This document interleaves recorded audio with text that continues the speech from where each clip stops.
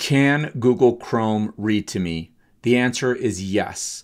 There's two ways to do this. One is to just do it straight from Google Chrome, where you highlight the text that you want Google Chrome to read to you, and it will just read that text straight to you.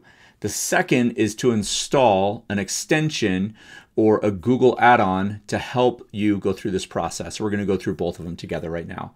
The text that you want Google Chrome to read to you, and it will just read that text straight to you.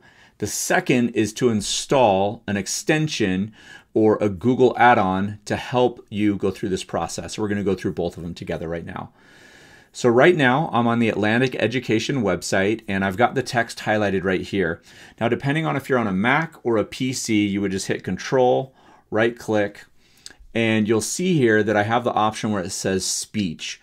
When I click on Start Speaking, Google Chrome will start reading to me. And the fall of 2020, as my son and his neighborhood friends started to trickle back out into the world, my daughter, Izzy, stayed home. At the time, Izzy was three years old. To stop speaking, you just do the same thing and click on stop. Now, this is the same voice every time. You don't have a lot of control over the voice, and it sounds really robotic.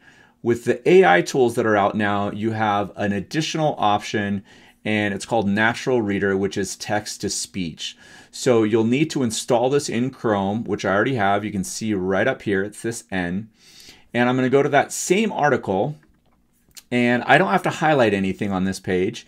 When I get to the article that I want to read or the website that I want to read, I click on the N right up here, and it's going to ask me a few things. Do I want to add this to my reading? Do I want to change my voice? Uh, and then I can start. So when I click on change, you'll have the option of a bunch of different voices. You can pick female voices, male voices, different accents.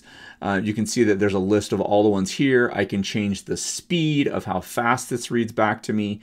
And you'll see some of these are free and some of these are paid.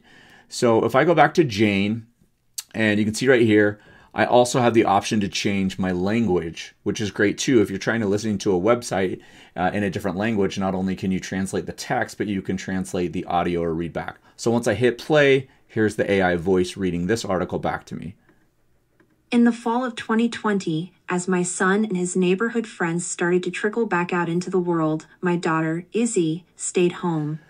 Now I'm going to pause this and change voices. So we'll go to a male voice. This is Davis and we'll start all over again.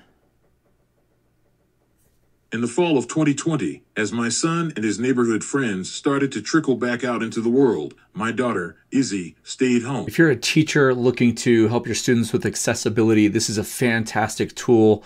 Not only will it read out loud to them in English, you saw that there are hundreds of languages this, this will read to. So if you're working with ELD students or ELL students, it's a fantastic way to bring articles uh, to life for them.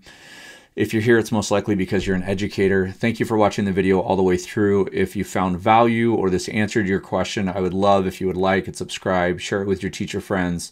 Thank you for everything that you do for kids on a daily basis. You are changing lives. I love you. I appreciate you, and I'm glad that you're here.